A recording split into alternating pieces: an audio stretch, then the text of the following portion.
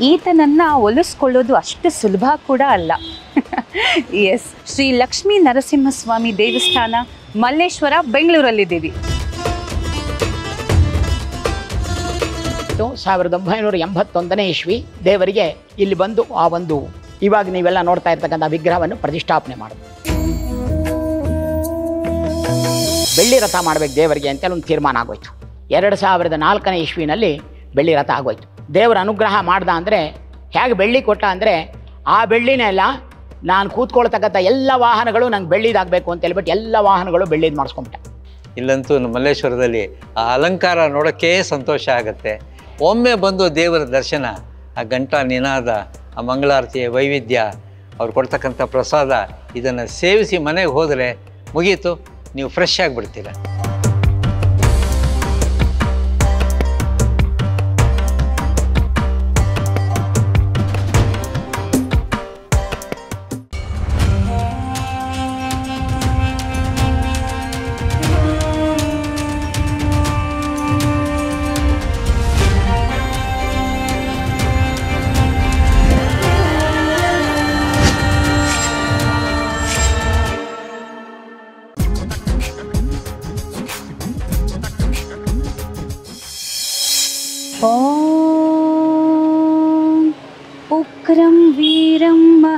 महाविष्णुं ज्वलन्तं सर्वतोमुखं नरसिंहं भीषणं भद्रं मृत्यो मृत्युं ನಮಾಮ್ಯಹಂ hi hello ನಮಸ್ಕಾರ ನಾವಿವತ್ತು ವಿಶೇಷವಾದಂಥ ಒಂದು ಸನ್ನಿಧಿಯಲ್ಲಿದ್ದೀವಿ ಈತನನ್ನು ಒಲಿಸ್ಕೊಳ್ಳೋದು ಅಷ್ಟು ಸುಲಭ ಕೂಡ ಅಲ್ಲ ಎಸ್ ಇವತ್ತು ನಾವು ಬೆಂಗಳೂರು ಅಂತಿದ್ದ ಹಾಗೆ ನಮಗೆ ತಕ್ಷಣ ಜ್ಞಾಪಕ ಬರೋದು ಕಲ್ಚರಲ್ ಹಬ್ ಯಾವ್ದು ಹೇಳಿ?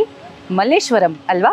ಎಸ್ ಇವತ್ತು ನಾವು ಶ್ರೀ ಲಕ್ಷ್ಮೀ ನರಸಿಂಹಸ್ವಾಮಿ ದೇವಸ್ಥಾನ ಮಲ್ಲೇಶ್ವರ ಬೆಂಗಳೂರಲ್ಲಿದ್ದೀವಿ. ವೆಲ್ಕಮ್ ಟು ಟೆಂಪಲ್ ರನ್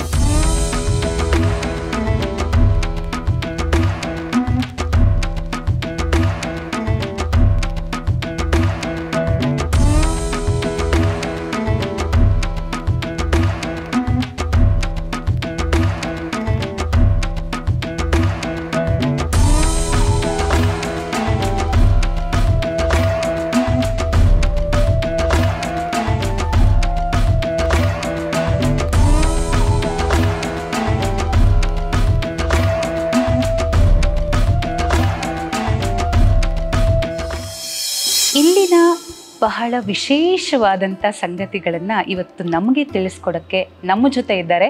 ಇವರು ಅಂತಿಂಥ ಅರ್ಚಕರಲ್ಲಪ್ಪ. ಪ್ರಧಾನ ಅರ್ಚಕರು ಜೊತೆಗೆ ತುಂಬ ವರ್ಲ್ಡ್ ವೈಡ್ ಫೇಮಸ್ ಅರ್ಚಕರು ಅಂತ ಹೇಳ್ಬೋದು.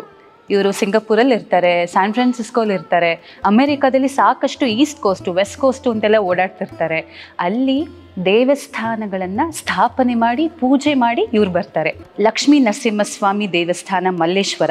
ಇದರ ಪ್ರಧಾನ ಅರ್ಚಕರು ಇವತ್ತು ನಮ್ಮ ಜೊತೆ ಇದ್ದಾರೆ. ವಿದ್ವಾನ್ ಶ್ರೀಯುತ ಅಚ್ಯುತ ಪಟ್ಟಾಭಿರಾಮ ಭಟ್ಟರವರು. ಬನ್ನಿ ಮಾತಾಡ್ಸೋಣ. ಆಚಾರ್ಯ ನಮಸ್ಕಾರ. ಮಲ್ಲೇಶ್ವರಂ ಅಂತಿದ್ದ ಹಾಗೆ ಅಫ್ಕೋರ್ಸ್ ಕಲ್ಚರಲ್ ಹಬ್ ಸೊ ಇಂಥ ಒಂದು ಪವಿತ್ರವಾದಂಥ ಜಾಗ. ಇದು ಒಂದು ದೇವಾಲಯಗಳ ಬೀಡು ಅಂತಲೇ ನಾವು ಹೇಳಬಹುದು. ಯಾಕಂದರೆ ಸುತ್ತಮುತ್ತಲು ಬಹಳ ಒಂದು ನಾಲ್ಕೈದು ದೇವಾಲಯಗಳೆಲ್ಲ, ಅಂದರೆ ಭಕ್ತಾದಿಗಳು ಬರ್ತಿದ್ದ ಹಾಗೆ. ನಮಗೆ ತಕ್ಷಣ ನಮಗೆ ಕಾಣಿಸೋವಂಥದ್ದು of course Lakshmi Narasimha Swamy so ಇಂಥ ಒಂದು ಪವಿತ್ರವಾದ ಜಾಗ. ಸೊ ಇದು ಹೆಂಗೆ ಶುರುವಾಗಿದ್ದು ಹೇಗೆ? ಉದ್ಭವ ಮೂರ್ತಿನ ಇದು, ಅಥವಾ ಯಾರಾದರೂ ಸ್ಥಾಪಿಸಿದ್ದ? ಇದು ಸುಮಾರು ಹದಿನಾರನೇ ಶತಮಾನದ ದೇವಸ್ಥಾನ. ಇವಾಗ ತಾವೆಲ್ಲ ಪಕ್ಕದಲ್ಲಿರ್ತಕ್ಕಂಥ ಕಾಡುಮಲ್ಲೇಶ್ವರನ ದೇವಸ್ಥಾನ ನೋಡಿದ್ದೀರಾ? ಆ ಕಾಡುಮಲ್ಲೇಶ್ವರನ ದೇವಸ್ಥಾನದಲ್ಲಿರ್ತಕ್ಕಂಥದ್ದು ಸ್ವಯಂ ವ್ಯಕ್ತವಾಗಿರ್ತಕ್ಕಂಥ ಶಿವ. ಅದೇ ರೀತಿಯಾಗಿ ಇಲ್ಲಿ ನರಸಿಂಹದೇವರು ಸಹ ಸ್ವಯಂ ವ್ಯಕ್ತವಾಗಿರ್ತಕ್ಕಂಥ ನರಸಿಂಹದೇವರು. ಹದಿನಾರನೇ ಶತಮಾನದಿಂದ ಈ ದೇವಸ್ಥಾನ ಒಂಥರ ಹಾಳುಬಿದ್ದು ಮಂಟಪ ಅಂತೇಳಿ ಹೆಸರು ಬಂದ್ಬಿಟ್ಟಿತ್ತು. ಅಂದರೆ ಯಾರೂ ಇದ್ರ ಕಡೆ ಗಮನ ಕೊಟ್ಟಿರಲಿಲ್ಲ. ಇಲ್ಲಿ ದೇವ್ರ ದರ್ಶನ ಮಾಡೋದಕ್ಕೂ ಅವಕಾಶ ಇಲ್ಲ. ಯಾಕಂದರೆ ವರ್ಷ ವಾರ ವಾರಕ್ಕೊಂದ್ಸಲಿ ಬರೋರಂತೆ ಶಿವನ ದೇವಸ್ಥಾನದ ಅರ್ಚಕರೇ ಬರೋರಂತೆ.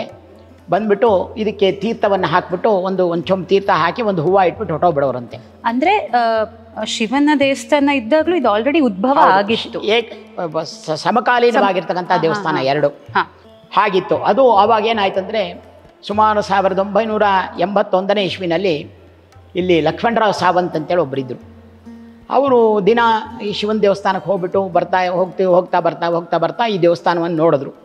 ಅವ್ರಿಗೊಂದಿನ ಸ್ವಪ್ನದಲ್ಲಿ ನರಸಿಂಹದೇವರು ಕಾಣಿಸಿ ಅಪ್ಪ ನಾನು ಇಲ್ಲಿದ್ದೀನಿ ನಾನು ಪ್ರತಿಷ್ಠೆ ಮಾಡಿಸು ಅಂತೇಳಿ ಹೇಳ್ಬಿಟ್ಟು ಅವರಿಗೆ ಅನುಗ್ರಹವಾಯಿತು. ಆದಾಗ ಸಾವಿರದ ಒಂಬೈನೂರ ಎಂಬತ್ತೊಂದನೇ ಇಸ್ವಿನಲ್ಲಿ ಆಗ ವಿದ್ವಾನ್ ಎಸ್ ಆರ್ ಶೇಷಾದ್ರಿ ಭಟ್ರು ಅಂತ ಹೇಳಿಬಿಟ್ಟು. ಅವರು ಪಾಂಚರಾತ ರಾಗಮದಲ್ಲಿ ಸೀನಿಯರ್ ರಾಗಮ ಪಂಡಿತಾಗಿ ನಮ್ಮ ಸರ್, ನಮ್ಮ ಸರ್ಕಾರದ ಮುಜರಾಯಿ ಡಿಪಾರ್ಟ್ಮೆಂಟಲ್ಲಿ ಕೆಲಸ ಮಾಡ್ತಾಯಿದ್ರು ಆವಾಗ ಅವ್ರನ್ನ ಹೋಗಿ ಕಾಂಟ್ಯಾಕ್ಟ್ ಮಾಡಿದ್ದಾರೆ. ಏನು ಮಾಡೋಣ? ಈ ಥರ ಬರ್ತಾ ಇದೆಯಲ್ಲ ಅಂತೇಳಿ. ಸರಿ, ಅವರು ಮನಸ್ಸು ಮಾಡಿ, ಬಾಪ ನೋಡೋಣ ಅಂತೇಳಿ ಒಂದು ದಿನ ಬಂದು ಇದನ್ನೆಲ್ಲ ದೇವಸ್ಥಾನವನ್ನು ಪರಿಶೀಲನೆ ಮಾಡಿ, ತದನಂತರ ಒಂದು ಚಿಕ್ಕ ದೇವಸ್ಥಾನ ಅಷ್ಟೇ, ಒಂದು ಗರ್ಭಗುಡಿ ಮಾತ್ರ ಇದ್ದಿದ್ದು, ಮುಂದ್ಗಡೆ ಮಾತ್ರ ಶುಕನಾಶಿ ಅಂತ ಹೇಳಿದ ಹೆಸರು ಅಲ್ಲಿ ಮಾತ್ರ ಇತ್ತು. ಇದೆಲ್ಲ ಕಲ್ಲು ಕಟ್ಟಡ. ಆಗ ಅವರು ಬಂದು ನೋಡಿ ಸರಿ ಆಯ್ತಪ್ಪ ಮಾಡಿಕೊಡೋಣ ಅದರಲ್ಲೇನಿಲ್ಲ. ಆದರೆ ಇನ್ನೊಂದು ದೇವರೊಂದು ಪ್ರತಿಷ್ಠೆ ಮಾಡಿದ್ರೆ ಚೆನ್ನಾಗಿರುತ್ತೆ ಅಂತ ಹೇಳ್ಬಿಟ್ಟು ಹೇಳಿದ್ರು. ಹೇಳಿ ಆವಾಗ ಏನು ಮಾಡಿದ್ರು ಅವರು ಅದಕ್ಕೆ ಒಪ್ಕೊಂಡ್ರು. ಒಪ್ಕೊಂಡ ನಂತರ ಏನಾಯಿತು ಸಾವಿರದ ಒಂಬೈನೂರ ಎಂಬತ್ತೊಂದನೇ ಇಸ್ವಿ ದೇವರಿಗೆ ಇಲ್ಲಿ ಬಂದು ಆ ಒಂದು ಇವಾಗ ನೀವೆಲ್ಲ ನೋಡ್ತಾ ಇರ್ತಕ್ಕಂಥ ವಿಗ್ರಹವನ್ನು ಪ್ರತಿಷ್ಠಾಪನೆ ಮಾಡಿದ್ರು. ಸೊ ನೀವು ಇಲ್ಲಿ ಅಂದರೆ ನಿಮ್ಮ ತಲೆಮಾರು ಅಂತ ತಗೊಂಡ್ರೆ ನೀವು ಎಷ್ಟನೇ ಜನರೇಷನ್ ಇಲ್ಲಿ ಪೂಜೆ ಮಾಡ್ತಿರೋವಂಥದ್ದು ನಾನು ಬಿ ಕಾಮ್ ಗ್ರ್ಯಾಜುಯೇಷನ್ ಮುಗಿಸ್ಕೊಂಡು ನಾನು ಫ್ಯಾಕ್ಟ್ರಿಲಿ ಕೆಲಸ ಮಾಡ್ತಾ ಇದ್ದೆ. ಕಾರಣಾಂತರದಿಂದ ಫ್ಯಾಕ್ಟ್ರಿ ಲಾಕೌಟ್ ಆಗೋಯ್ತು. ನನಗೆ ಈ ದೇವಸ್ಥಾನ ಆಗೋಕೆ ಮೊದಲೇ ಶಿವನ ದೇವಸ್ಥಾನದಿಂದ ನಾನು ರೆಕಮೆಂಡ್ ಮಾಡಿ, ನನಗೆ ಆವಾಗಲೇ ನನಗೆ ಇಲ್ಲಿ ಅಪಾಯಿಂಟ್ಮೆಂಟ್ ಆರ್ಡರ್ ಬಂದ್ಬಿಡ್ತು. ಆ ಸಮಯದಲ್ಲಿ ನನಗೆ ಅಪಾಯಿಂಟ್ಮೆಂಟ್ ಆದಾಗ ಸಾವಿರದ ಒಂಬೈನೂರ ಎಂಬತ್ತೆರಡನೇ ಇಸ್ವಿ. ಫೆಬ್ರವರಿ ನಾಲ್ಕನೇ ತಾರೀಕಿನ ದಿವಸ ನನಗೆ ನಾಲ್ಕನೇ ತಾರೀಕಿನ ದಿವಸ ಈ ದೇವಸ್ಥಾನ ಪ್ರತಿಷ್ಠೆ ಆಯಿತು. ಐದನೇ ತಾರೀಕಿನ ದಿವಸ ನನಗೆ ಬಿಗಿದ್ಕೆ ಕೊಟ್ಟರು ಓ. ಇವತ್ತಿನ ದಿವಸ ನಾನು ನಿಜ ಹೇಳ್ತೀನಿ ನಾನು ಚಾರ್ ತಗೊಂಡಿದ್ದ ದಿವಸ ಈ ದೇವಸ್ಥಾನ ದೇವರಿಗೆ ಅಭಿಷೇಕ ಮಾಡಿದ ಮಾರನೇ ದಿವಸ ಪಂಚ ಇಲ್ಲ. ಒಂದು ಸೀರೆ ಇಲ್ಲ ಅಮ್ಮನವ್ರಿಗೆ. ಗೊತ್ತಾಯ್ತಲ್ಲ? ಒಂದು ಆರ ಪೂಜೆ ಮಾಡೋದಕ್ಕೆ ಒಂದು ಬಟ್ಲುಗಳಿಲ್ಲ ಈ ದೇವಸ್ಥಾನದಲ್ಲಿ. ಹಾಗಿದ್ದಂಥ ಈ ದೇವಸ್ಥಾನ.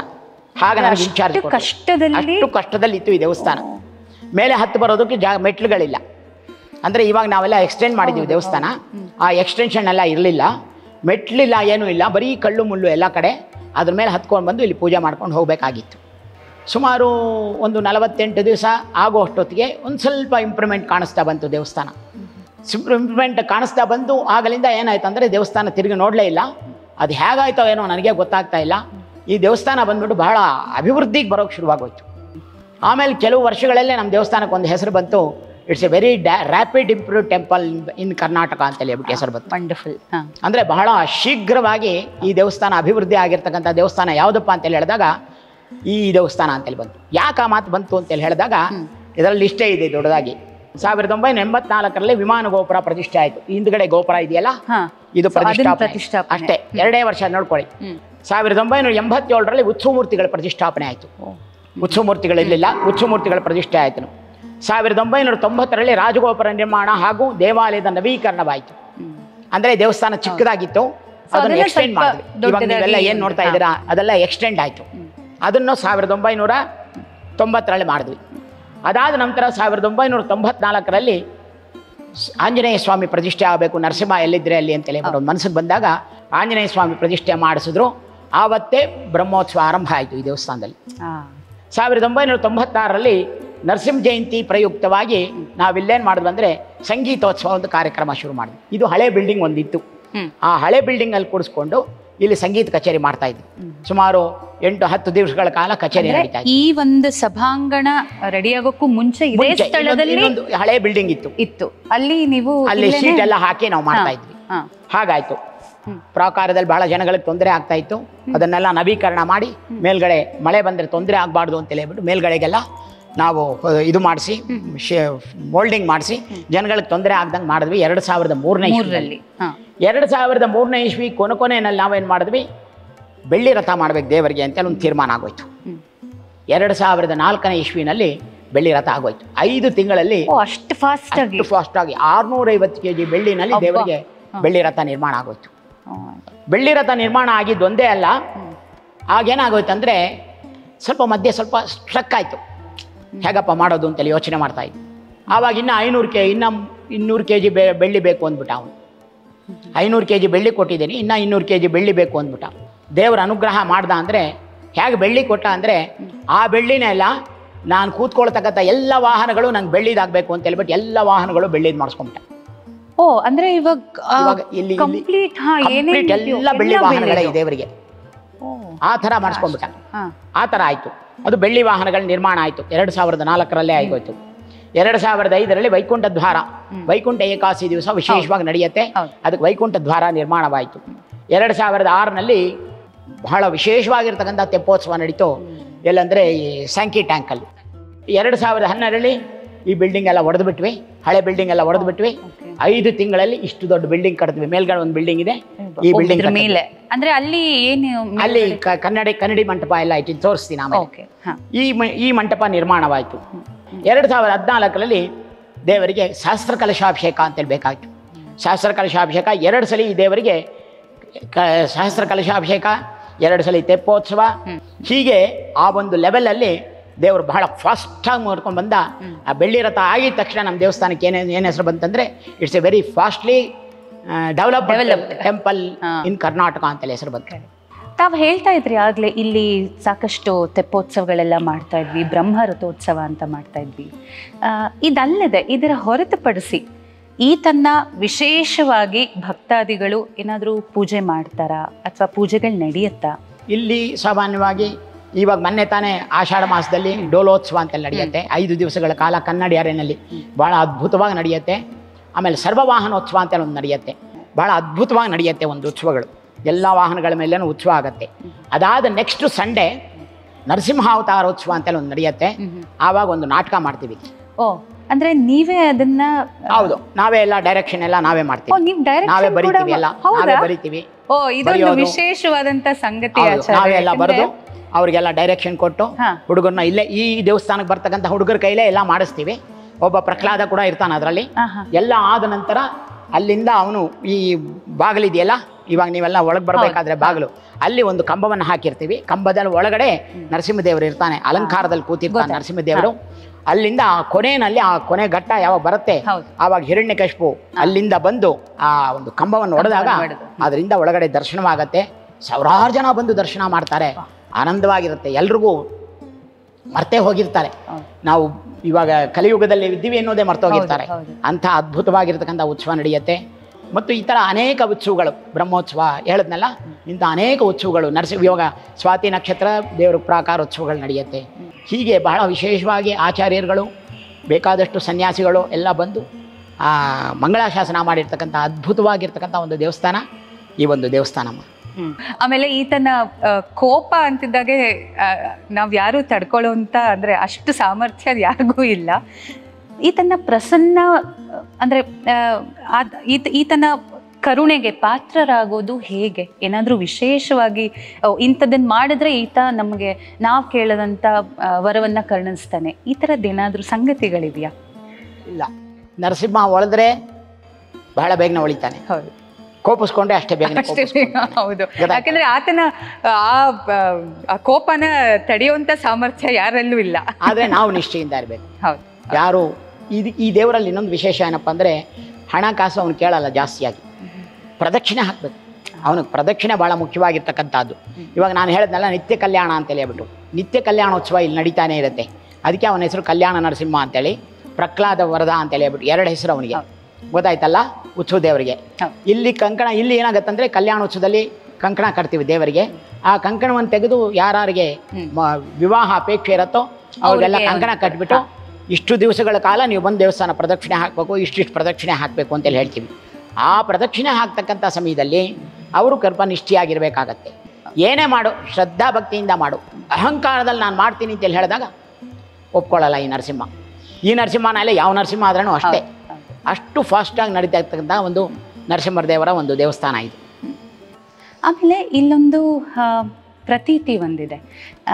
ನಾವು ಇಲ್ಲಿ ಬಂದು ಬರೆದ್ರೆ ನಾವು ಅಂದ್ಕೊಂಡಿದ್ದೆಲ್ಲ ಆಗತ್ತೆ ಅಂತ. ಇದ್ರ ಬಗ್ಗೆ ತಾವು ತಿಳಿಸ್ಬಹುದಾ? ಏನಿಲ್ಲಮ್ಮ ಇಲ್ಲಿ ನಾನು ತಮಗೆ ಉದ್ಭವ ನರಸಿಂಹರು ತೋರಿಸಿದ್ರಲ್ಲ ಆ ಒಂದು ಉದ್ಭವ ನರಸಿಂಹ ದೇವರು ಎಲ್ಲಿದ್ದಾರೆ ಅದಕ್ಕೆ ಆ ಗೋಡೆ ಕನೆಕ್ಷನ್ ಇದೆ. ಅಲ್ಲಿ ಏನು ಮಾಡ್ತಾರೆ ಅಂದರೆ ಜನಗಳು ಅಲ್ಲೊಂಥರ ಗಮನಿಸಿ ನೋಡಿದಾಗ ಒಂಥರ ನರಸಿಂಹ ದೇವರ ಥರ ಕಾಣಿಸ್ತಾರೆ. ಅದು ಅವರವ್ರ ಭಾವನೆ. ಭಾವನೆ ಅವ್ರವ್ರ ಭಾವನೆ ಮೇಲೆ ಡಿಪೆಂಡ್ ಆಗುತ್ತೆ. ಅಲ್ಲಿ ನರಸಿಂಹದೇವರ ಕಾಣಿಸಿದಾಗ ಅಲ್ಲಿ ಅವರೆಲ್ಲ ಬಂದು ಕ್ಯೂ ನಿಂತ್ಕೊತಾರೆ. ಮಂಗಳವಾರ ಬಹಳ ವಿಶೇಷವಾಗಿರ್ತಕ್ಕಂಥದ್ದು. ಮಂಗಳವಾರ ಬಂದ್ಬಿಟ್ಟು ನರಸಿಂಹದೇವರಿಗೆ ಅಧಿ ಅಧಿಪತಿ. ಆ ನರಸಿಂಹದೇವರ ಅಧಿಪತಿ ಆಗಿರೋದ್ರಿಂದ ಅಂಥ ದಿನ ಏನು ಮಾಡ್ತಾರೆ? ಪ್ರತಿನಿತ್ಯ ಅಷ್ಟೇ ಇಲ್ಲಿ ಬರ್ತಾರೆ. ಅದಕ್ಕೊಂದು ಲೈನ್ ನಿಂತಿರ್ತಾರೆ. ಅಲ್ಲಿ ಬಂದ್ಬಿಟ್ಟು ಅಲ್ಲಿ ಬರ್ಕೊತಾರೆ. ಏನೋ ಬರ್ಕೊತಾರೆ. ಅವರು ಏನು ಬರ್ಕೊತಾರೋ ನಮ್ಗೆ ಗೊತ್ತಾಗಲ್ಲ. ಅವ್ರು ಬರ್ಕೊಂಡು ದೇವ್ರಿಗೆ ನಮಸ್ಕಾರ ಮಾಡ್ಕೊಂಡು ಹೋಗ್ತಾರೆ. ಅವ್ರಿಗೆ ಅನುಕೂಲ ಆಗುತ್ತೆ ಅಂತ ಹೇಳ್ಬಿಟ್ಟು ಒಂದು ಒಂದು ಪ್ರತೀತಿ. ಆಮೇಲೆ ಇಲ್ಲಿ ಒಬ್ಬರು ಅಜ್ಜಿ ಕೆಲಸ ಮಾಡ್ತಾಯಿದ್ರು ನರಸಮ್ಮ ಅಂತ. ತುಂಬ ವಿಶೇಷವಾದಂಥ ಅಜ್ಜಿ. ಆ ಅಜ್ಜಿ ಬಗ್ಗೆ ಹೇಳಿ. ಒಂದ್ಸಲಿ ಅಂದರೆ ಇಲ್ಲಿ ನರಸಮ್ಮ ಅಂತೇಳಿ ಒಬ್ಬ ಅಮ್ಮ ಕೆಲಸ ಮಾಡ್ತಾ ಇದ್ದೆ ಭಾಳ ವಯಸ್ಸಾದವಳು. ಆಯಮ್ಮನಿಗೆ ಬರೀ ನರಸಿಂಹ ದೇವ್ರನ್ನ ಕಂಡ್ರೆ ಅಷ್ಟಿಷ್ಟ. ಆಯಮ್ಮನ ಹೆಸರೇ ನರಸಮ್ಮ. ಆಯಮ್ಮನ ನೋಡಿದ್ರೆ ನರಸಿಂಹನ ನೋಡ್ದಂಗೆ ಇರ್ತಾಯಿತ್ತು ಅಷ್ಟು ಭಯಂಕರವಾಗಿ. ನಾನಿನ್ನ ಚಿಕ್ಕ ಹುಡುಗ. ಹಾಂ. ಆಯಮ್ಮ ಒಂದ್ಸಲಿ ಒಂದು ಎರಡು ಮೂರು ಸಲ ಏನಾಗಿದೆ ದೇವಸ್ಥಾನದ ಗರ್ಭಗೃಹದ ಬಾಗಲಲ್ಲಿ ನಾನು ಬರೋಕೆ ಮೊದಲು ಆಯಮ್ಮ ಎಲ್ಲ ಕ್ಲೀನ್ ಮಾಡೋಳು ಒಳಗಡೆ ಎಲ್ಲ. ಅಲ್ಲಿ ಬಂದಾಗ ಅಲ್ಲಿ ಎರಡು ಸಲ ಎರಡು ಮೂರು ಸಲ ಮುಟ್ಬಿಟ್ಟಿದ್ದಾಳೆ ಅಲ್ಲಿ ಹಾವಿತ್ತು. ಇತ್ತು ಆಯಮ್ಮ ಮುಟ್ಟಿದ ತಕ್ಷಣ ಹಾವು ಹೊರಟೋಯ್ತು ಹೊರಗಡೆಗೆ. ಹೀಗೆ ಒಂದು ನಾಲ್ಕೈದು ಸಲ ಆಯಮ್ಮನಿಗೆ ಅನುಭವ ಆಗಿದೆ. ಓ ಅವ್ರು ಮುಟ್ಟಿದ್ದಾರೆ. ಹೌದು. ಆಯಮ್ಮ ಆಮೇಲೆ ಆಮೇಲೆ ಏನು ಮಾಡಿದೆ ಒಂದಿನ ಸುಮ್ಮನೆ ತಮಾಷೆಗೆ ನಾನು ಆಯಮ್ಮ ಈ ಕೆಂಪುದು ಇದು ನೀವೆಲ್ಲ ಹಳ್ಳಿಯವ್ರು ನೋಡಿರ್ತೀರ? ದೊಡ್ಡ ದೊಡ್ಡದು ಕೆಂಪುದು ಓಲೆ ಹಾಕೊಳ್ತಾರೆ ಓಲೆ ಹಾಕೊಳ್ಳೋದು ಹಿಂಗೆ ಇಳಿದ್ಬಿಟ್ಟಿತ್ತು ಇಳಿದ್ಬಿಟ್ಟು. ಗೊತ್ತಲ್ಲ ನಿಮ್ಗೆ. ಆಯಮ್ಮನಿಗೆ ಒಂದಿನ ತಮಾಷೆ ಹೇಳಿದ್ದೆ. ಏನಮ್ಮ ನರಸಮ್ಮ ನೀ ತೆಲುಗಲ್ಲಿ ಮಾತಾಡ್ತಾ ಇದ್ದೆ. ಏನಮ್ಮ ನಿನ್ನ ಕಿವಿನಲ್ಲಿರ್ತಕ್ಕಂಥ ಓಲೆ ಭಾಳ ಚೆನ್ನಾಗಿದೆ ಅಂದ್ಬಿಟ್ಟಿದೆ ಆಯಮ್ಮ ಏನು ಮಾಡಿಬಿಟ್ಲು? ಅದು ಏನು ಅನ್ನಿಸ್ತು ಏನೋ ಗೊತ್ತಿಲ್ಲ. ಆಯಮ್ಮ ಹೋಗ್ಬೇಕು ಇನ್ನೊಂದು ಅರ್ಧ ಗಂಟೆಗೆ ಹೋಗ್ಬಿಡ್ತಾಳೆ. ಪಟ್ಟಾಪ್ ಅರ್ಜ ಅರ್ಜೆಂಟ್ ಕಾ ಪಿಲ್ ಚಿಕ್ಕಡ ಕರಿ ಕರಿ ಅರ್ಜೆಂಟ್ ಒಂದು ಸರಿ ಹೋದೆ. ಇಲ್ಲೇ ಪಕ್ಕದಲ್ಲೇ ಮನೆ ಇತ್ತು. ಹೋದೆ ಏನಮ್ಮ ಅಂದೆ. ಮೊದಲು ಈ ಓಲೆ ತಗೋ ಮೊದಲು. ಈ ಒಲೆ ತಗೊಂಡ್ಬಿಡು ದೇವರಿಗೆ. ಏ ಇರ್ಲಿ ಬಿಡಮ್ಮ ಯಾಕೆ ತಗೊಂತೀಯಾ? ಯಾಕೆ ಬೇಡಮ್ಮ? ಇಲ್ಲ ಇಲ್ಲ ನೀವು ತೀಸ್ಕೊ ಮೊದಲು. ತೀಸ್ಕೊ ನೀವು ಮೊದಲು. ಆಮೇಲೆ ಅವ್ರ ಮಕ್ಕಳು ತೆಗೆದು ಬಿಚ್ಕೊಟ್ರು. ಅದನ್ನ ನಾನು ತೆಗೆದುಕೊಂಬಂದು ದೇವಸ್ಥಾನಕ್ಕೆ ಬಂದೆ. ನಾನು ದೇವಸ್ಥಾನದ ಒಳಗೆ ಕಾಲು ಇಡ್ತಾ ಇದ್ದೀನಿ ಆಯಮ್ಮ ಹೋಗ್ಬಿಟ್ಟು ಅಯ್ಯೋ. ಸಿ ಎಂಥೆಂಥ ಮಹಾನುಭಾವರುಗಳಿದ್ರು ಅನ್ನೋದಕ್ಕೆ ನಾನು ಹೇಳ್ತಾ ಇದ್ದು ಆಯಮ್ಮನಿಗೆ ನಾನು ಕೊಡ್ತಾ ಇದ್ದೆ ಸಂಬಳ ಎಷ್ಟು ಗೊತ್ತಾ? ಐವತ್ತು ರೂಪಾಯಿ. ತಿಂಗಳಿಗೆ ಐವತ್ತು ರೂಪಾಯಿ. ಈ ಥರ ಎಲ್ಲ ಇಲ್ಲಿ ದೇವ್ರ ಕೈಂಕರ್ಯ ಮಾಡಿದವರು ಇದ್ದಾರೆ ಇವತ್ತಿಗೂ ಬೇಕಾದಷ್ಟು ವಾಲಂಟಿಯರ್ಸು ಸುಮಾರು ಅರವತ್ತು ಜನ ಎಲ್ಲ ಸಾಫ್ಟ್ವೇರ್ ಇಂಜಿನಿಯರ್ಸ್ ಎಲ್ಲ. ಒಂದು ಅರವತ್ತೆಪ್ಪತ್ತು ಜನ ಇದ್ದಾರೆ ಅವರೇ ದೇವ್ರನ್ನ ಬಿಜಿ ಮಾಡಿಸೋದೆಲ್ಲ. ದೇವ್ರನ್ನ ಬಿಜಿ ಮಾಡ್ಸೋಕೆ ಬರೋದೆಲ್ಲ ಅವರೇ. ದೇವಸ್ಥಾನ ಕಸ ಗುಡಿಸೋದು ಬ್ರಹ್ಮೋತ್ಸವದಲ್ಲಿ ಪ್ರಸಾದಗಳು ಕೊಡೋಕೆ ಬರೋದು. ಇಲ್ಲಿ ಇನ್ನೊಂದು ವಿಶೇಷ ಏನಪ್ಪ ಅಂದರೆ ನಾವು ಹೇಳ್ತಕ್ಕಂಥ ಇವಾಗ ಇಷ್ಟೊತ್ತು ಅಲ್ಲಿ ಹೇಳ್ತಾ ಇದ್ನಲ್ಲ ಆ ಮಂತ್ರಗಳು ನಮ್ಮ ದೇವಸ್ಥಾನದಲ್ಲಿ ಕಸ ಗುಡಿಸೋರ್ಗೂ ಬರುತ್ತೆ. ವಾಚ್ಮ್ಯಾನ್ಗಳಿಗೂ ಬರುತ್ತೆ. ಯಾಕಂದ್ರೆ ಎಲ್ಲ ಕೇಳ್ಕೊಂಡಿರೋ ಇಲ್ಲಿ ಯಾವ ಜಾತಿನೂ ಅನ್ನೋ ಮಾತಿಲ್ಲ. ಎಲ್ಲ ಜಾತಿಯವರು ಬರ್ತಾರೆ. ಎಲ್ಲರೂ ಕಲಿತಾರೆ. ಎಲ್ಲರೂ ಹೇಳ್ತಾರೆ. ಆದರೆ ವೇದ ಮಂತ್ರಗಳಿಗೆ ಮಾತ್ರ ನಿಷಿದ್ಧ. ವೇದ ಮಂತ್ರಗಳು ಹೇಳೋಗಿಲ್ಲ ಈ ಒಂದು ಪ್ರಬಂಧ ಇತ್ಯಾದಿಗಳೆಲ್ಲ ಎಲ್ಲ ಹೇಳ್ಕೊಂಡು ಹೋಗ್ತಾರೆ. ಅಂಥ ವಿಶೇಷವಾಗಿರ್ತಕ್ಕಂಥ ಒಂದು ದೇವಸ್ಥಾನ. ಅದರಿಂದನೇ ಬೇಗನೆ ಅನುಗ್ರಹ ಮಾಡ್ತಕ್ಕಂಥ ಅವನು ಶೀಘ್ರವಾಗಿ ಅನುಗ್ರಹ ಮಾಡ್ತಕ್ಕಂಥ ದೇವರು ಯಾರಪ್ಪ ಅಂದಾಗ ನರಸಿಂಹದೇವರು. ಹೀಗೆ ಈ ದೇವಸ್ಥಾನದ ಕತೆ ಬೇಕಾದಷ್ಟಿದೆ. ಅಂದರೆ ಅವನನ್ನು ನಂಬಿದ್ರೆ ಸಾಮಾನ್ಯವಾಗಿ ಈಗ ನಾವು ಯಾರೋ ಒಬ್ಬರನ್ನ ಅಂದರೆ ಇವಾಗ ನಮ್ಮ ಗುರುಗಳು ಅಥವಾ ಯಾವುದೇ ಒಂದು ದೇವರನ್ನ ಯಾವ ಯಾರನ್ನು ನಂಬ್ತೀವೋ ಅವ್ರನ್ನ ಒಂಥರ ಅವ್ರ ಕೈ ಹಿಡ್ಕೊಂಡ್ಬಿಡ್ಬೇಕಂತೆ. ಅವಾಗ ಅವ್ರು ನಡ್ಸ್ಕೊಂಡು ಹೋಗ್ತಾರೆ. ನಮ್ಗೆ ಎಷ್ಟೋ ವಿಷಯಗಳು ಏನೋ ಹಂಗಂತೆ ಹೀಗಂತೆ ಅಂತ ಕೇಳಿದ್ವಿ. ಆದ್ರೆ ತಾವು ಇಷ್ಟು ಡೀಟೇಲ್ ಆಗಿ ಅಂದ್ರೆ ಒಂದು ಸಂಕ್ಷಿಪ್ತವಾಗಿ ತುಂಬ ಬಹಳ ಒಳ್ಳೆ ಮಾಹಿತಿಯನ್ನು ಕೊಟ್ಟಿದ್ದೀರಾ. ಸೊ ನಿಮ್ಮ ಆಶೀರ್ವಾದ ಹಾಗೂ ಈ ಲಕ್ಷ್ಮೀ ನರಸಿಂಹಸ್ವಾಮಿನ ಆಶೀರ್ವಾದ ನಮ್ಮ ಮೇಲೆ ಸದಾ ಇರಲಿ. ನಮಸ್ಕಾರ.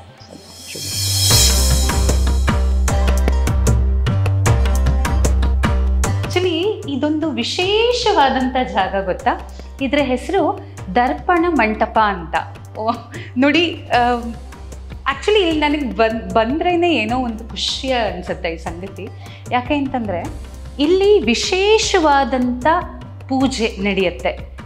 ಈಗಲೇ ಹಿಂಗಿದೆ. ಇನ್ನು ದೇವರಲ್ಲಿದ್ದಾಗ ನೋಡೋಕ್ಕೆ ಎರಡು ಕಣ್ಣು ಸಾಲದು, ಅಲ್ವಾ?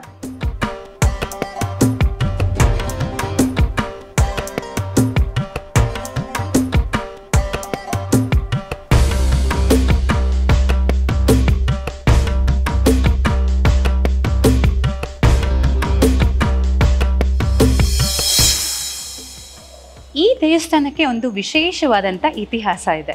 ಅದೇನು ಅಂತಂದರೆ ನಾವೆಲ್ಲರೂ ಕೇಳೇ ಇರ್ತೀವಿ. ಬಹಳ ಹಿಂದೆ ರಾಜರು ಒಂದಿಷ್ಟು ಹಳ್ಳಿಗಳನ್ನು ಅದನ್ನು ಗುತ್ತಿಗೆ ಥರ ಕೊಟ್ಬಿಡೋದು, ಅಥವಾ ಏನೋ ಒಂದು ಜೀರ್ಣೋದ್ಧಾರ ಮಾಡ್ಕೊಳ್ಳಿ ಅಂತ ಕೊಡುವಂಥದ್ದು. ಸೊ ಇದು ಮುಂಚೆ ಮೇದಾರ ಲಿಂಗನಹಳ್ಳಿ ಅಂತ ಆಗಿತ್ತಂತೆ. ಸೊ ಇಂಥ ಒಂದು ಇತಿಹಾಸ ಅಷ್ಟೇ ಅಲ್ಲ, ಶಿವಾಜಿ ಮಹಾರಾಜ್ ಅವರ ಅಣ್ಣನಾದ ಎಕ್ಕೋಜಿ ರಾವ್ ಅವರು ಗರ್ಭಗುಡಿಯನ್ನು ಕಟ್ಟಿಸಿದ್ದಾರೆ ಅನ್ನೋದು ಪ್ರತೀತಿ.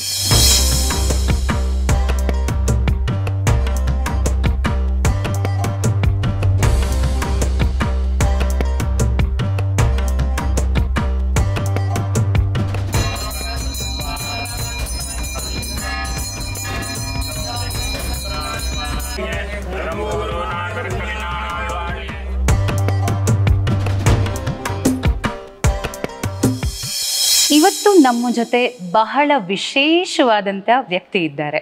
ಬಹುಶಃ ನೀವಾಗಲೇ ಎಲ್ಲರೂ ನೋಡಿದ್ದೀರಾ, ಅವ್ರ ಬಗ್ಗೆ ನಾನೇನು ಪರಿಚಯ ಮಾಡಿಕೊಡೋದು ತಮ್ಗೆಲ್ರಿಗೂ ಗೊತ್ತಿದೆ.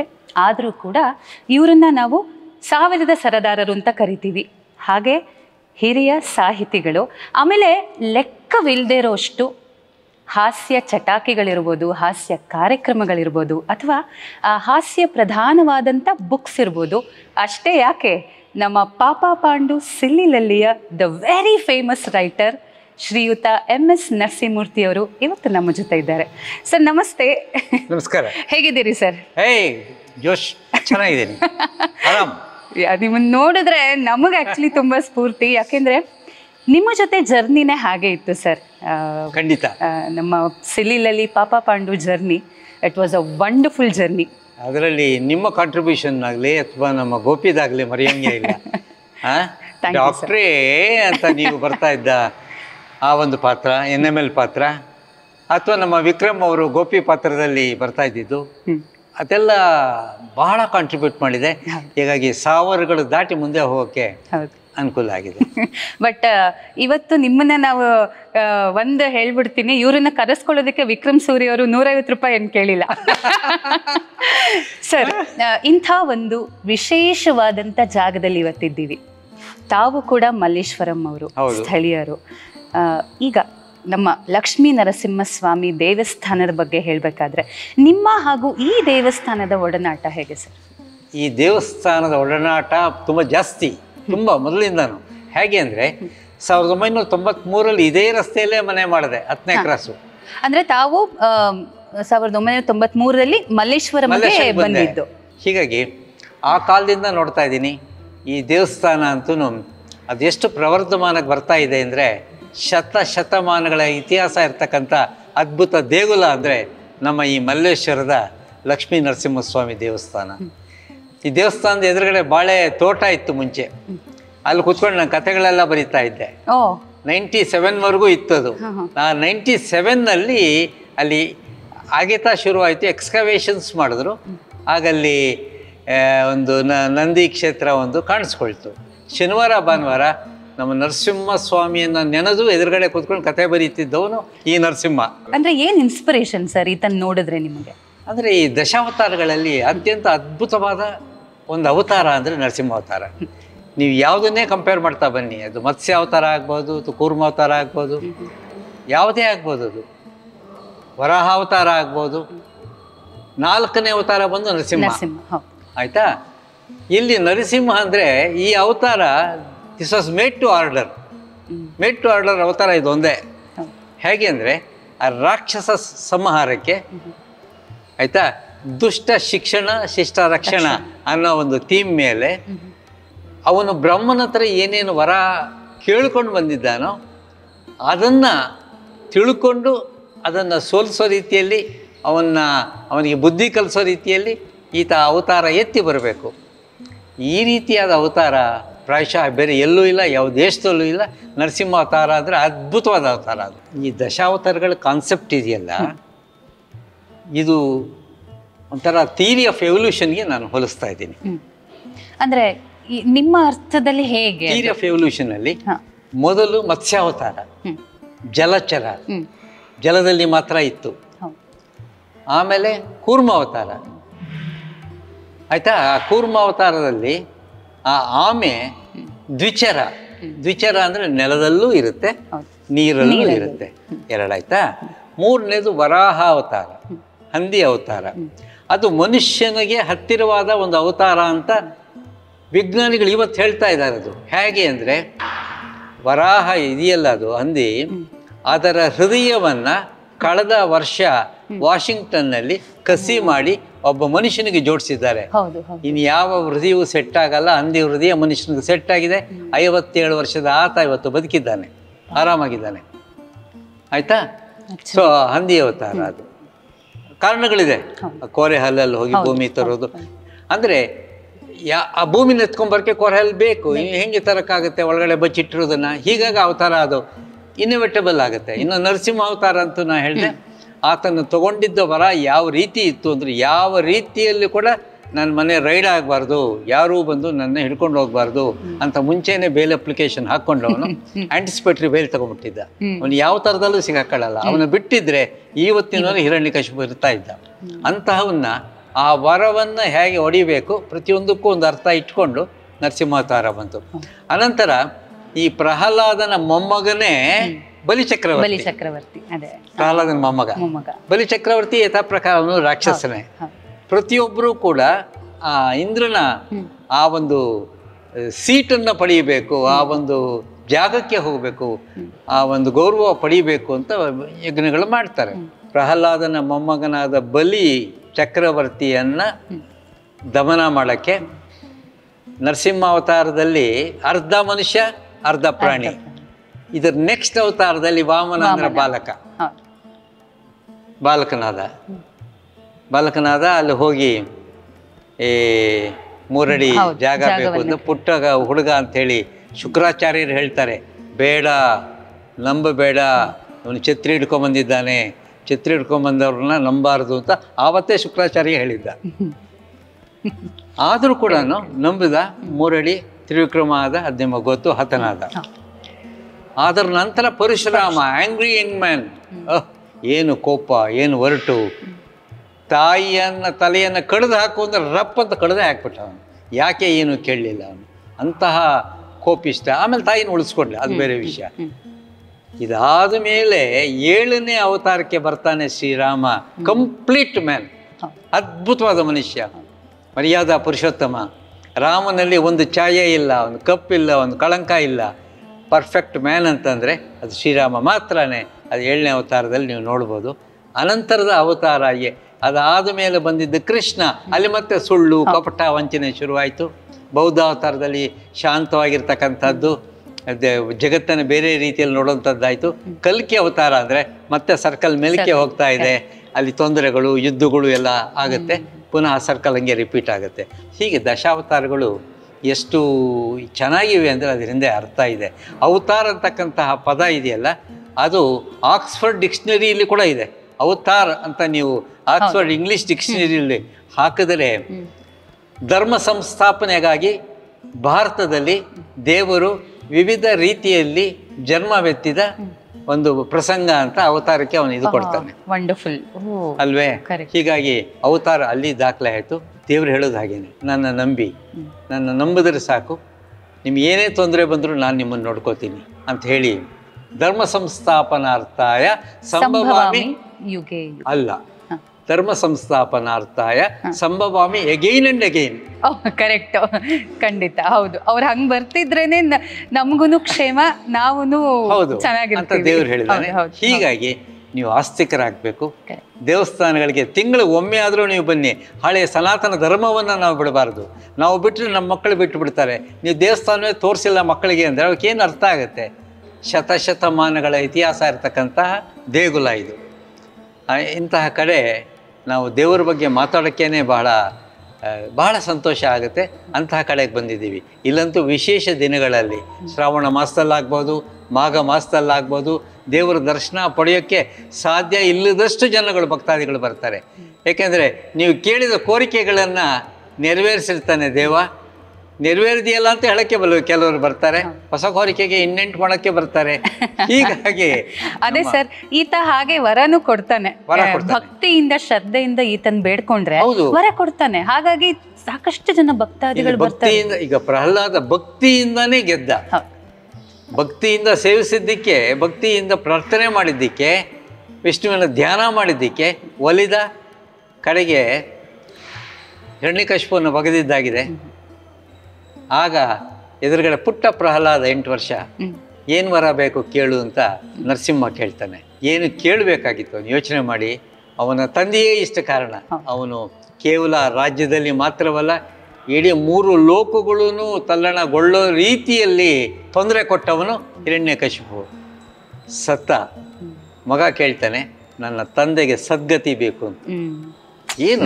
ಕಲಿಯುವಂಥದ್ದು ಎಷ್ಟು ವಿಷಯಗಳಿದೆ? ತಂದೆ ಏನೇ ಆಗಿರ್ಬೋದು ಕಾರಣಗಳು ನೂರಾರು ಇರುತ್ತೆ. ನನ್ನ ತಂದೆಗೆ ಮೋಕ್ಷವನ್ನು ಕೊಡು ಸದ್ಗತಿ ಕೊಡು ಅಂತ ಕೇಳಿದಾಗ ನಮ್ಮ ಲಕ್ಷ್ಮೀ ನರಸಿಂಹ ಲಕ್ಷ್ಮೀನೂ ಇದ್ಲಲ್ಲ ಎಷ್ಟು ಶಾಂತವಾಗಿದ್ದ ಅಂದರೆ ಆತ ಕೊಟ್ಟು ವರನ ಎಲ್ಲರೂ ನೆನಪಿಟ್ಕೊಳ್ಬೇಕು. ನಿನ್ನ ತಂದೆಯ ಮೋಕ್ಷ ಮಾತ್ರ ಅಲ್ಲ ನಿನ್ನ ತಂದೆಯ ಈ ಹಿಂದಿನ ಇಪ್ಪತ್ತೊಂದು ಶತಮಾನಗಳು ಇಪ್ಪತ್ತೊಂದು ತಲೆಮಾರುಗಳು ಇಪ್ಪತ್ತೊಂದು ತಲೆಮಾರುಗಳಲ್ಲಿ ಇದ್ದು ಗತಿಸಿದ ಎಲ್ಲ ರಾಕ್ಷಸರಿಗೆ ನಾನು ಸದ್ಗತಿಯನ್ನು ಕೊಟ್ಟಿದ್ದೇನೆ ಅಂತ ಹೇಳಿ ದೊಡ್ಡ ವರವನ್ನೇ ಕೊಟ್ಟ. ಕೇಳಿದ್ದು ಒಂದು ಕೊಟ್ಟಿದ್ದು ಇಪ್ಪತ್ತೊಂದು. ಸೊ ಅಂತಹ ದೇವರು ನಮ್ಮ ಲಕ್ಷ್ಮೀ ನರಸಿಂಹ. ಇಲ್ಲಂತೂ ನಮ್ಮ ಮಲ್ಲೇಶ್ವರದಲ್ಲಿ ಆ ಅಲಂಕಾರ ನೋಡೋಕ್ಕೇ ಸಂತೋಷ ಆಗುತ್ತೆ ಮತ್ತು ಆ ಆರತಿಯ ವೈವಿಧ್ಯ ನೋಡೋಕ್ಕೆ ಸಂತೋಷ ಆಗುತ್ತೆ. ತುಂಬ ಶ್ರದ್ಧೆ ಭಕ್ತಿಯಿಂದ ದೇವರನ್ನ ಇಲ್ಲಿ ನೋಡ್ಕೋತಾರೆ. ಭಕ್ತಾದಿಗಳು ಹಾಗೆ ಬರ್ತಾರೆ. ಸೊ ಈ ಸಾನ್ನಿಧ್ಯದಲ್ಲಿ ಬಂದು ಮಾತಾಡೋದೇ ದೊಡ್ಡ ಭಾಗ್ಯ ಅಂತ ನಾನು ತಿಳಿತಾ ಇದ್ದೀನಿ. ನಾವು ಅನ್ಕೋತೀವಿ ಅಂದರೆ ದೇವರನ್ನ ನಂಬಿ ಎಷ್ಟೋ ಕೆಲಸಗಳು ಮಾಡ್ತೀವಿ. ನೀವು ದೇವರಲ್ಲಿ ನಂಬಿ ಎಲ್ಲ ಕೆಲಸಗಳನ್ನು ಶುರು ಮಾಡ್ತೀರಾ? ಅಥವಾ ಎಸ್ ನನ್ನ ಕಾಯಕವೇ ಕೈಲಾಸ. ಹಾಗಾಗಿ ಅದರಲ್ಲಿ ನಂಬಿಕೆ ಇಡ್ತೀನಿ ಜಾಸ್ತಿ ಅಂತನಾ? ಅಲ್ಲ ದೇವರ ಮೇಲೆ ನಂಬಿಕೆ ಇರುವವನಿಗೆ ಒಂದು ಹೈಯರ್ ಅಪೀಲ್ ಹೋಗೋಕ್ಕೊಂದು ಅವಕಾಶ ಇರುತ್ತೆ. ಆಸ್ತಿಕನಿಗೂ ನಾಸ್ತಿಕನಿಗೂ ವ್ಯತ್ಯಾಸನೇ ಅದು. ಆಸ್ಪತ್ರೆಯಲ್ಲಿ ಅಜ್ಜಿಗೆ ಮೈ ಚೆನ್ನಾಗಿಲ್ಲ. ಡಾಕ್ಟ್ರು ಇಲ್ಲ ಏನೂ ಮಾಡೋಕ್ಕಾಗಲ್ಲ ಅಂತ ಕೈ ಚೆಲ್ಲಿ ಮುಗೀತು ಎಲ್ಲ ಅಂತ ಹೇಳ್ತಾರೆ. ಅಲ್ಲಿಗೆ ಮುಗಿದೋಗಲ್ಲ. ಇನ್ನೊಂದಿದೆ ಅದಕ್ಕೆ ಹೈಯರ್ ಅಪೀಲ್ ದೇವರು. ದೇವರೇ ಏನಾದರೂ ಮಾಡಿ ಈ ಜೀವನ ಉಳಿಸು. ಅಂತ ಇನ್ನೊಂದು ಕಡೆಗೆ ನೀವು ಹೋಗಿ ಪ್ರಾರ್ಥನೆ ಸಲ್ಲಿಸ್ಬೋದು. ಅದೆಷ್ಟೋ ಸಲ ಮೆಟೀರಿಯಲೈಸ್ ಆಗಿದೆ. ಅದು ಅದರಿಂದ ಅನುಕೂಲ ಆಗಿದೆ. ನಮ್ಮ ಈ ಲಕ್ಷ್ಮೀ ನರಸಿಂಹ ಕ್ಷೇತ್ರಕ್ಕೆ ಬಂದು ಹೋದ್ಮೇಲೆ ಯಾರೇ ಬಂದು ಹೋಗ್ಲಿ ಮನಸ್ಸಿಗೆ ಏನೋ ಒಂಥರ ಆನಂದ ಏನೋ ಒಂಥರ ಶಾಂತಿ ಸಿಗುತ್ತೆ. ಹೌದು ತುಂಬಾ ಪಾಸಿಟಿವ್ ವೈಬ್ಸ್ ಹೌದು ಅದು ಬಹಳ ಮುಖ್ಯ. ನೀವು ಎಂಥ ಗೊಂದಲದಲ್ಲಿದ್ರೂ ವ್ಯಾಕುಲತೆಯಲ್ಲಿ ಇದ್ರೂ ಕೂಡ ಒಮ್ಮೆ ಬಂದು ದೇವರ ದರ್ಶನ ಆ ಗಂಟಾ ನಿನಾದ ಆ ಮಂಗಳಾರತಿಯ ವೈವಿಧ್ಯ ಅವ್ರು ಕೊಡ್ತಕ್ಕಂಥ ಪ್ರಸಾದ ಇದನ್ನು ಸೇವಿಸಿ ಮನೆಗೆ ಹೋದರೆ ಮುಗೀತು ನೀವು ಫ್ರೆಶ್ ಆಗಿಬಿಡ್ತೀರ. ಆ ದೃಷ್ಟಿಯಿಂದ ದೇವ್ರನ್ನ ನಂಬುವನಿಗಿರೋ ಅನುಕೂಲಗಳು ನಂಬದೇ ಇರೋನಿಗಿಲ್ಲ. ಆದ್ದರಿಂದನೇ ದೇವರು ನಂಬಿ ನಂಬಬೇಕು. ಪುರಂದರದಾಸರು ಹೇಳಿದಾರ ಹೇಳಿದಾರಲ್ಲ ನಂಬಿದ ವಿಭೀಷಣನಿಗೆ ರಾಮನಾದ ನಂಬದಿದ್ದ ರಾವಣನಿಗೆ ಯಮನಾದ. ನರಸಿಂಹ ಕ್ಷೇತ್ರಕ್ಕೆ ನಾನು ಕರ್ಕೊಂಬಂದಿದ್ದೀರಾ? ನರಸಿಂಹ ಕ್ಷೇತ್ರಕ್ಕೆ ನರಸಿಂಹ ಮೂರ್ತಿಯನ್ನು ಕರ್ಕೊಂಡ್ ಬಂದಿದ್ದೀರಾ ಈಗ ಹೀಗಾಗಿ ಲಕ್ಷ್ಮೀ ನರಸಿಂಹನ ಸನ್ನಿಧಿಯಲ್ಲಿ ನಾಲ್ಕು ಮಾತು ಹೇಳ್ತಕ್ಕಂಥ ಅವಕಾಶ ಸಿಕ್ತಲ್ಲ, ನಾನೇ ಧನ್ಯ ಅಂತ ಭಾವಿಸ್ತೀನಿ. ಸರ್ ತಾವು ಯಾವಾಗಲೂ ಸಿಕ್ಕಾಪಟ್ಟೆ ಬ್ಯುಸಿ ಇರ್ತೀರಾ? ಬಟ್ ಇವತ್ತು ಫ್ರೀ ಮಾಡಿಕೊಂಡು ನಾವು ಎಷ್ಟೇ ಇಮಿಡಿಯೇಟಾಗಿ ಹೇಳಿದ್ರು ತಾವು ಒಪ್ಕೊಂಡು ಬಂದ್ರಿ ಈ ಒಂದು ಪವಿತ್ರ ಕ್ಷೇತ್ರಕ್ಕೆ. Thank you so much sir ನಿಮ್ಮ ಆಶೀರ್ವಾದ, ಸಹಕಾರ ನಮ್ಮ ಮೇಲೆ ಸದಾ ಇರಲಿ. ನಮಸ್ತೆ. ಸೊ ತಾವೆಲ್ಲರೂ ಕೂಡ ತಪ್ಪದೆ ಇಂಥ ಪವರ್ಫುಲ್ ಲಕ್ಷ್ಮೀ ನರಸಿಂಹಸ್ವಾಮಿಯ ದರ್ಶನ ಹಾಗೂ ಈತನ ಕೃಪೆಗೆ ಪಾತ್ರರಾಗಿ ಅಂತ ಹೇಳ್ತಾ, ನಾನು ನಿಮ್ಮ ಕನ್ನಡದ ಹುಡುಗಿ ನಮಿತಾ ರಾವ್ ಹಾಗೂ ತೆರೆ ಹಿಂದೆ ವಿಕ್ರಮ್ ಸೂರಿ ಇಬ್ರು ಕೂಡ ಸೈನಿಂಗ್ ಆಫ್ ಆ್ಯಂಡ್ ನಮ್ಮ ನವಿ ನಿರ್ಮಿತಿ ಚಾನೆಲ್ನ ಲೈಕ್ ಮಾಡಿ ಶೇರ್ ಮಾಡಿ ಸಬ್ಸ್ಕ್ರೈಬ್ ಮಾಡಿ ಹಾಗೂ ಬೆಲ್ ಐಕಾನ್ನ ಕ್ಲಿಕ್ ಮಾಡಿ. ನಮಸ್ಕಾರ.